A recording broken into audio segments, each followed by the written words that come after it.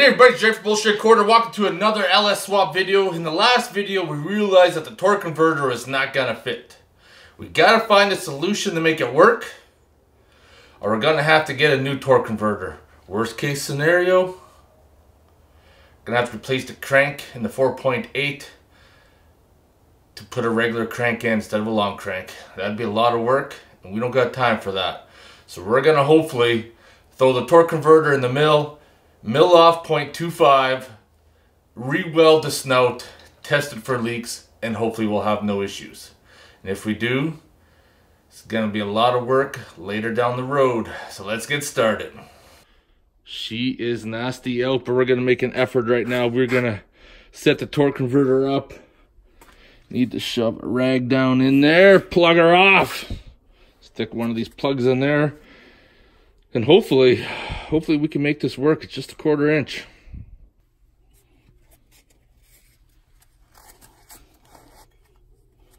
Okay, I'm all set up. There's no going back now. Machine a quarter inch off the top and refit it.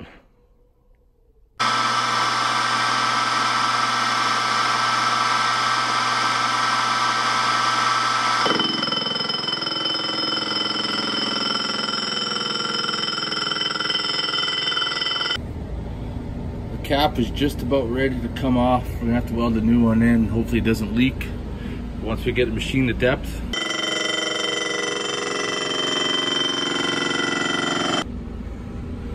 Well, that's a quarter inch shaved off. Take her out, make sure all the filings are cleaned out before I remove that plug, and then see if it's gonna fit up. Well, definitely seems to fit up better now. I think I can make that work for sure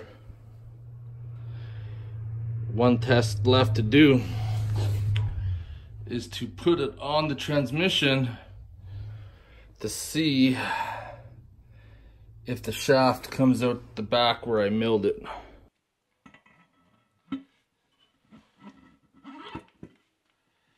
kind of awkward trying to get the torque converter on.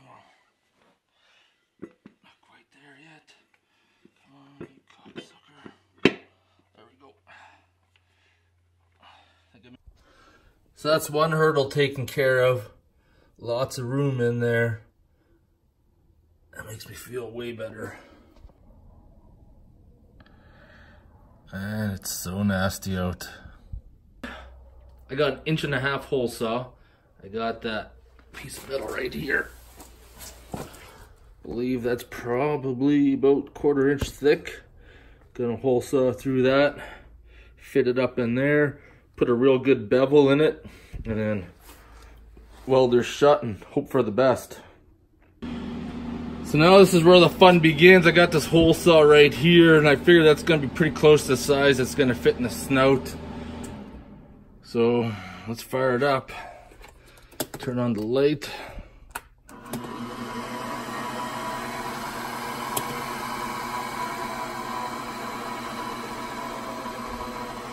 Turn down the speed.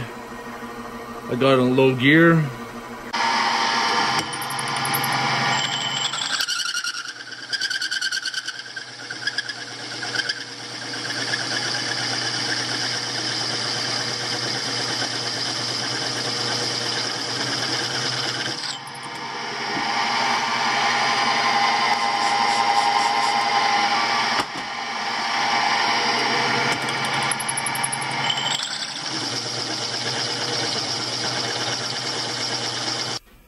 Here's my piece.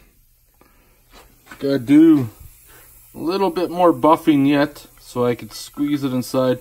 This has got a little bit of a rough edge. Then use my die grinder with that sanding brush. I also got a rag in there to help prevent any shit from going in there. So let's see if we could buffer out. Maybe sand this down a little bit more and make it fit.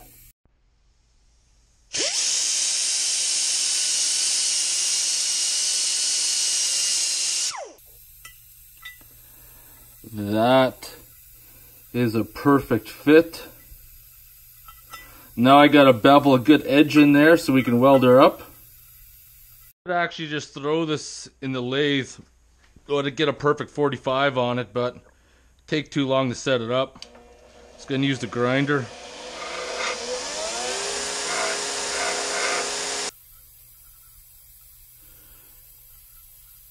I think that'll work quite nicely. Let's get the welder set up. Get that hole welded in. We'll tack weld that into place and weld her up. Problem is I hope I have enough gas to finish this job. As you can see, it's not looking good.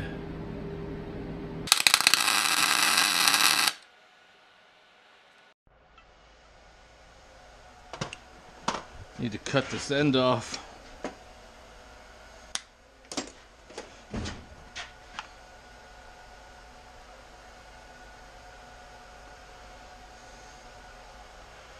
Alright, just moment of truth, my friends.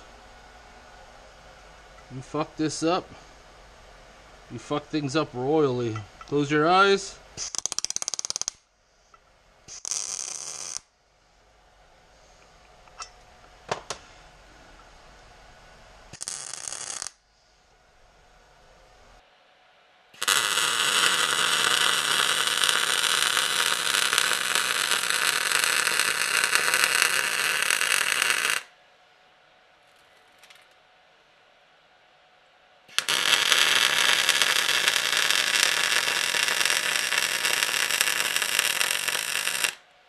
So I just welded her, then I ground out those two sections and welded it again because that's where I tacked it.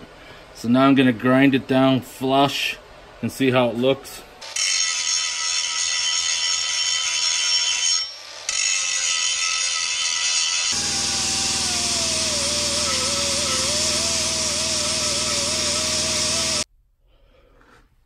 Well, everything turned out good. Welded in nice and solid. I want to bolt it up to the flex plate now, see how it's going to look. And then I want to put some oil in this and let it sit, see if it's going to leak. And if it's good, we're going to assemble the transmission and engine. Here we are, bolted up nicely. All that work was not in vain. That part's pretty good. I got to take the torque converter back off need to put some transmission oil in it, let it sit, make sure there's no leaks, and then the last test will be install the torque converter in the transmission, bolt it up, check the fitment before we finish tightening up the bolts, because if you don't have your torque converter installed properly, or if the spacing's wrong, the torque converter is going to push into the pump. You're going to crack your pump. And then this rebuild transmission is going to be poo. So, that's where I'm at right now. So far, so good. Everything looks good in there. Put my funnel. Got some ATF transmission fluid from AMSOIL. Dump her in there right. Pour some transmission fluid into this slowly. The key is to put at least a quart of oil in the torque converter, at least. And it fills very slowly. I'll be able to know in a few days if it's leaking. But right now I think she's sealed up good. Because if there was an obvious leak seeping through, I would see it. Not quite yet. Not quite yet. I think it's motherfucking beer time from the Canadian fridge.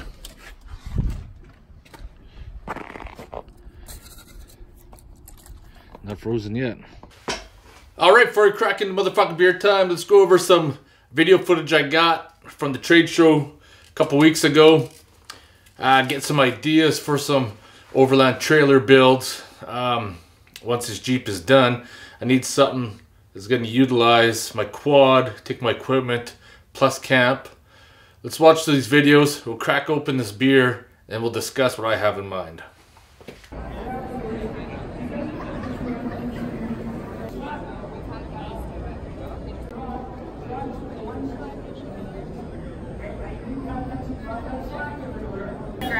Okay. Then you want to break your framework down by pulling this forward, sliding this bar up, and just okay. that sit there. Then you come to the back and you just bring the tent down on itself. That's it? Just like that. You bring it down with you as you step out. Out. You got four easy folds and it zips into this weatherproof casing right here. And then zip her you up. Flip over your sides and it gives you a platform like that to load on. Reverse the process, you go simple rolling motion. Flip the back up. And. That's it, eh? That's. That's all.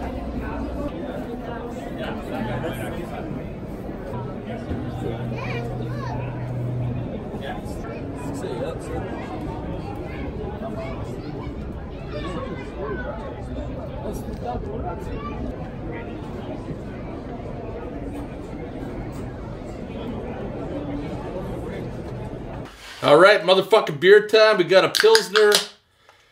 Before we talk about the trailer, we're almost out of the woods. Last thing is make sure we have the correct spacing when we bolt up the engine and transmission.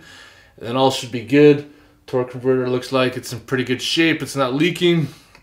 Good sign. Anyways, motherfucking beer time. Let's have a sip of the good old Pilsner. Ah. Good old Saskatchewan dinner right here, boys.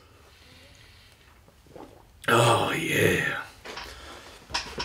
So, what I had in mind was to pick up a landscape trailer that's about five feet by eight feet, the trailer box. I know it's a little bit larger for overland, but for what I need to use it for, it'll be good. I really like the idea of that pop-up tent and then you drive your quad up top which is fine but the only problem is there's no secure area for me to put like my sluice box any kind of gear like that's what i had in mind with the landscape trailer is is i could build a foldable rack up top that folds in on itself have a couple braces in the middle to support the weight of the quad. But by a rooftop tent and that hydraulic cylinder and hydraulic power pack i had when I built that log splitter a few years ago, I could build a frame, put the rooftop tent on it, so then when my quad is offloaded and I flip those gates open, I could press a button, hydraulically raise the rooftop tent up just above the, the trailer walls, and then fold the tent open. And then plus I'll still have tons of room for all my gear. That's what I have in mind. That's probably gonna cost probably like 6,000, pretty close to that said and done where, you know, these trailers are like 14,000. And then you get those fancy overland trailers like 50 grand. Fuck that. A person's better off just getting like a all-wheel drive van or trying to find a 4x4 van or getting one converted and then build a camper van inside. You're 100 times better, man. Like 50 some thousand for a fucking trailer I can't see anybody really spending the money on that. Anyways, motherfucking beer time. Uh, hope you guys enjoyed the video. Hopefully some real progress is going to start happening soon.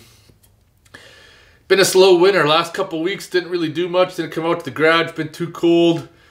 Things are starting to change. Spring is around the corner. Then we can really start moving. Anyways, I'll see you guys in the next video.